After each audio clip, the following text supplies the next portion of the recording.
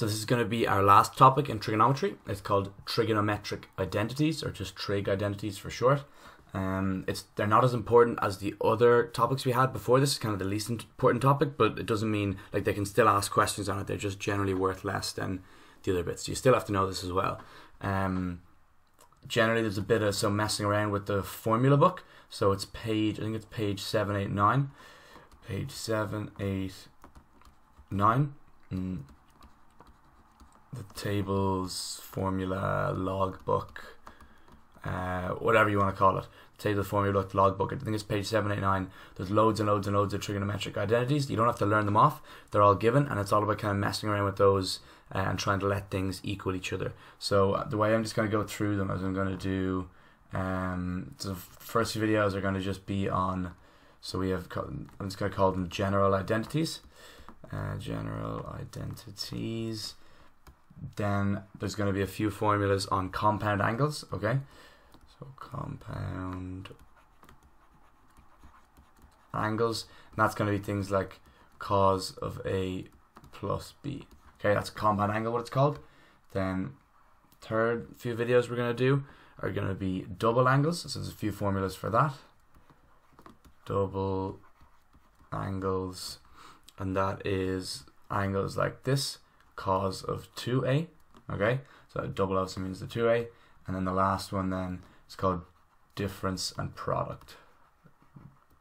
Difference and product um, of angles. So that's things like so a product is sine A, sine B, and then a difference would be sine of A minus sine of B. Yes, that's so product are multiplied by each other, and then differences they're taken away from each other.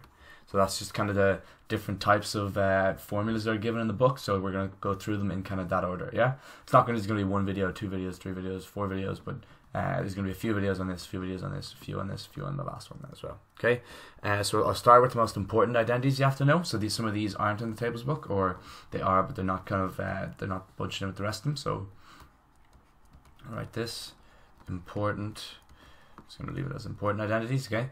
Um, the most important one probably is this one here, that sine squared theta plus cos squared theta is equal to 1.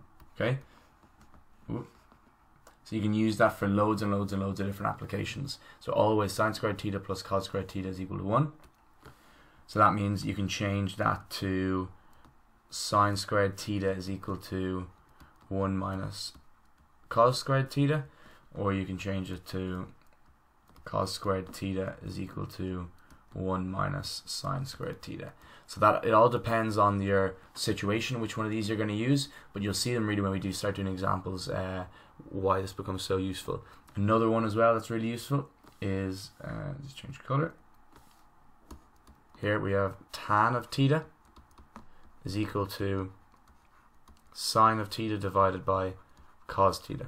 Okay, so if you ever see sine theta over cos theta, you can break that up into tan theta and vice versa. So that's a really important one uh, that I don't think is actually in the formula and tables book.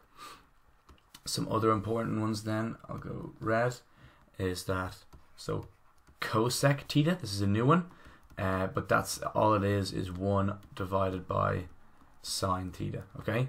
So cosec theta is 1 over sine theta. Uh, I'll go no blue uh, fix that. Okay, sec of theta is equal to 1 over cos theta.